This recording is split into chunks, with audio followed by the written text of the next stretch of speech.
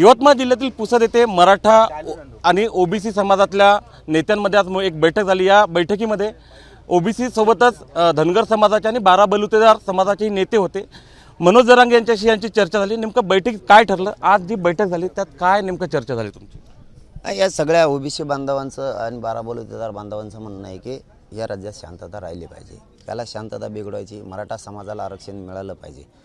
आणि या पाठिंबा देण्यासाठी आज ते सगळे बांधव आले होते. राठोड साहेबाच्या अध्यक्षतेखाली हे सगळेजण एकत्र आले आणि त्यांनी पाठिंबा दिला की मराठाला हे आरक्षण मिळालं पाहिजे. त्याचबरोबर त्यांचं असंही म्हणणं आहे की तो येवल्यात बसलेला माणूस तो आम्हाला काहीच खाऊ देत नाही. एकटाच खातो. त्याला तर पहिल्यापासून गिळायची सवय लागली ती चावीसुद्धा नाही डायरेक्ट गिळून घेतो. त्यांचं म्हणणं आहे की आम्हाला आरक्षणाचा फायदाच झाला नाही छोट्या छोट्या जातींना. आम्हाला वेगळं आरक्षण पाहिजे.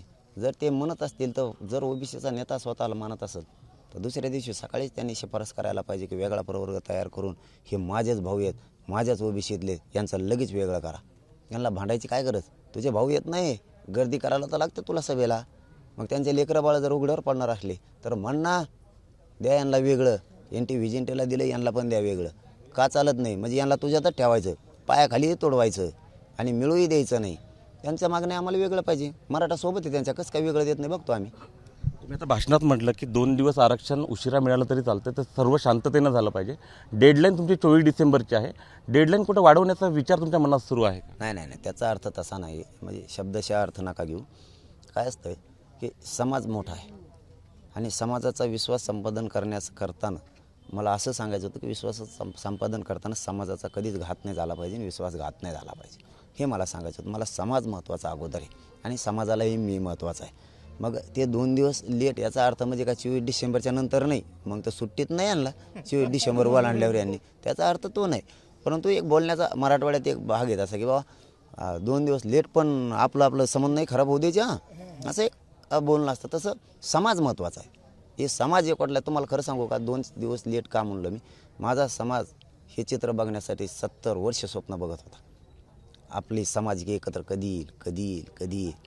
आणि हे स्वप्न समाजाचं पूर्ण झालं आहे आणि या समाजात जन्म घेऊन मला आता स्वाभिमान वाटायला लागला आहे गर्वही वाटतं की माझा समाज ताकदीनं एकत्र झाला. तसाच मला ओबीसीसुद्धा एकत्र करायचा सगळा. आणि आपल्यात समानता खरी काय असती हे दाखवायची आपल्याला. समानता म्हणजे काय? महात्मा फुलेंनी जो समानतेचा आदर्श घातला आहे हे नेमका काय असतो? यशवंतराव चव्हाणांचा महाराष्ट्र नेमका काय असतो?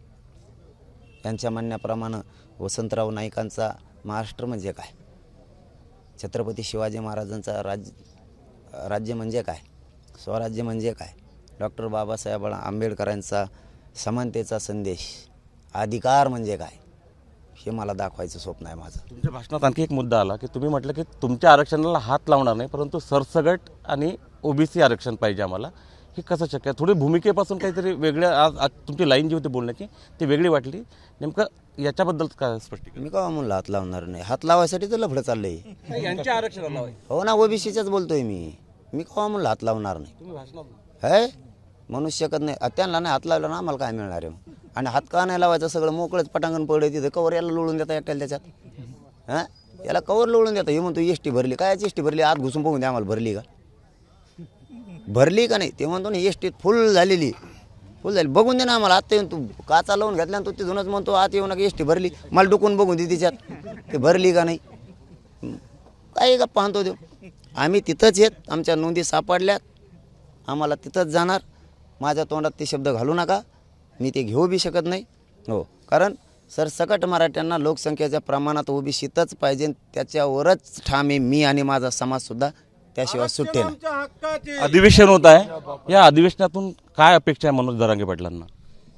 महाराष्ट्रातल्या मराठा समाजाला आरक्षण देण्यासाठी ज्या नोंदी मिळाल्या त्याचा आधार घेऊन महाराष्ट्रातल्या मराठा समाजाला सरसकट आरक्षण देण्यासाठी कायदा पारित करणे. आणि याच्यासाठी चोवीस डिसेंबर वेळ सरकारनं घेतला मी दिलेला नाही. तुम्ही आज भाऊ भाऊ म्हटलं लहान भाऊ मोठा भाऊ नाही आता तुम्ही जुळे भाऊ झालेले आहेत. आणि हे बोलताना तुम्ही बारा बलुतेदारांच्या प्रश्न फार मोठा हे केला की पुढं बारा बलुतेदारांच्या आंदोलनाचं नेतृत्व जे आहे ते तुम्ही कराल. मराठा समाज बारा बलुतेदारांच्या पाठीशी आहे. काय पुढच्या आंदोलनाची दिशा असते नाही सगळ्या समाजाचा सेवक म्हणून काम करत नेतृत्व करण्याची मला आजही हवस नाही नसता. नेतृत्व करायचं असतं तर लोकांनी डोक्यात केल्या खुर्च्या ठेवल्या होत्या त्या भारी भारी तसल्या आणि त्याच्यावर बसलो असतो मी आडी टाकून अशी. नाही बसलो मला माझ्या जमिनीवरच राहायचं मस्ती नाही डोक्यात जाऊ द्यायची हवा नाही घुसू द्यायची. मला मी जमिनीवरती आहे आणि जमिनीवरती राहणार आहे मला हाव नाही आहे सगळ्यात महत्त्वाचं आणि भाऊ भाऊ याच्यासाठी म्हणलो आता आम्ही उभी शेत म्हणलो आता कुठं मोठं लहान आपण सगळे मोठालेच आता. हा फक्त एकमेकाला वर नाही. त्याच्यासारखं. हां अजिबात नाही. गळ्यात गळे हातात हात घालून जायचं. एकमेकाला पुढं घेऊन चालायचं. सगळ्याला बोलू द्यायचं. सगळ्याला त्याचा हा, लाभही मिळू द्यायचा. त्याच्यासारखं एकट्यानं नाही लाटायचं सगळं. याच बैठकीत ओबीसी नेते माजी खासदार हरिभाऊ राठोड होते काल जरांगे पाटलांनी आरोप केले होते की छगन भुजबळांना महाराष्ट्रात ओबीसी आणि मराठ्यांमध्ये दंगली घडवायच्या आहेत त्यांचा आरोप कितपत ख- खरा वाटतो तुम्हाला? अगदी बरोबर आहे. जरांगे पाट साहेबांचं जे म्हणणं आहे तशीच परिस्थिती होती पण ती आज आजपासून आम्ही ते निवडण्याचा प्रयत्न करतोय आणि मराठा समाजाला ओबीसीमधून धक्का न लागता आरक्षण देता येईल. मी पुनश्च पुनरुच्चार करतोय. धन्यवाद. पुढे जे मराठा समाजाचा आरक्षणाचा लढा जो आहे तो ओबीसींसोबत ल लढणार आहो आणि ओबीसी आणि मराठा हे भाऊभाऊ आहे आणि याच्यात कोणताही वाद नाही हे पुसदच्या भूमीतून त्यांनी महाराष्ट्राला सांगितलेलं आहे. कॅमेरामॅन अमोल देशमुखचा उमेश अलोणे एबीपी माझा पुसद यवतमाळ. एबीपी माझा उघडा डोळे बघा नीट.